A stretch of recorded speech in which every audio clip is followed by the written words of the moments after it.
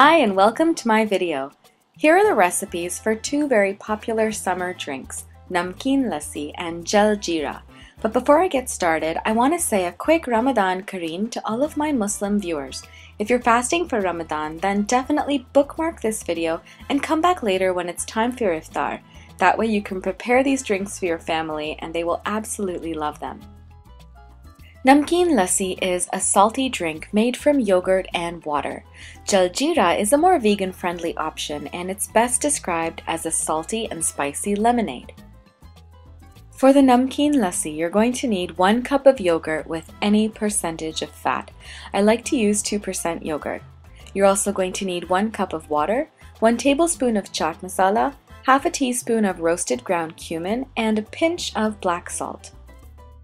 Namkeen lassi originated in the great Indian state of Punjab, where it gets so hot at this time of year. And this drink is so popular because it has a very cooling effect on the body. To achieve a smooth consistency, just put all of the ingredients into your blender and blitz away. This recipe makes approximately 500 mils or 2 cups of namkeen lassi.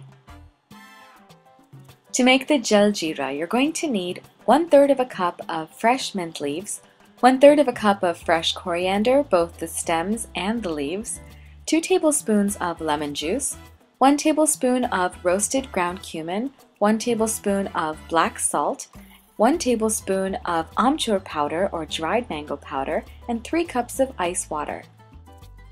Start out by making a paste from the herbs and spices. To do this, simply add them to your blender along with a little bit of water and blend everything together until it has achieved as smooth a texture as possible. When it's done, it should look something like this. Add the lemon juice to the ice water. Actually, it's been so hot in Toronto that my ice completely melted. After that, go ahead and add in the herb and spice mixture.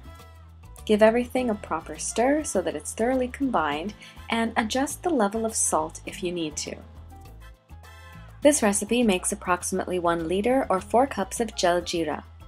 So here you have two very refreshing, salty summer drinks. And if you're not accustomed to drinking anything salty, then these are definitely going to be a new experience for you, and I hope you like them. For the jal jeera, I coated the rim of the glass with a little bit of sugar and garnished with boondi.